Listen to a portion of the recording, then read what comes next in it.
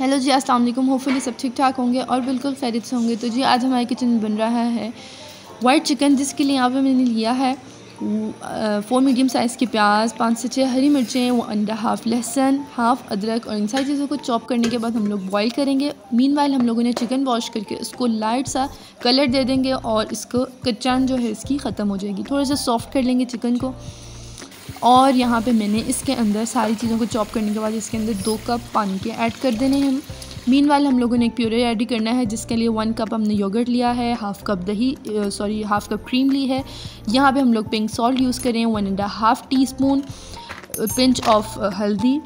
फिर हम लोगों ने अजवाइन लिया one teaspoon one tea one and half teaspoon लिया हम लोगों ने यहाँ पे ज़ीरा।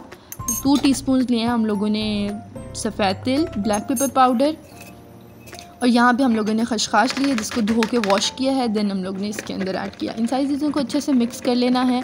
अगर स्पाइसेस कुछ आप लोगों को कम लगे तो आप लोग मर्ज़ी से इसमें ऐड कर सकते हैं। यहाँ पे हमारा चिकन जो है ऑलमोस्ट सॉफ्ट हो चुका है। यहाँ पे ये जो ये जो सारी चीज़ों को चॉप किया हुआ था, ये भी बॉयल हो चुकी हैं। अभी सारी चीज़ों की पेस्ट बना के इसको इस चिकन के अंदर ऐड करना है। और अगर आपको पानी ज़्यादा लगे तो आप लोग कम भी कर सकते हैं। और इन सारी चीज़ों को अच्छे से मिक्स करना है एट द सेम टाइम हम लोगों ने क्रीम वाला प्यूरे भी जो है वो सारा इसके अंदर ऐड करना है। यहाँ पे मुझे इसके अंदर हल्दी थोड़ी सी कम लग रही थी तो मैंने इसके अंदर थोड़ी सी और ऐड की, यानी कि पिंच टू पिंच और ऐड की थी। और इन सारी चीज़ों को अच्छे से मिक्स करने के बाद हम लोगों ने इसको कवर कर देना है।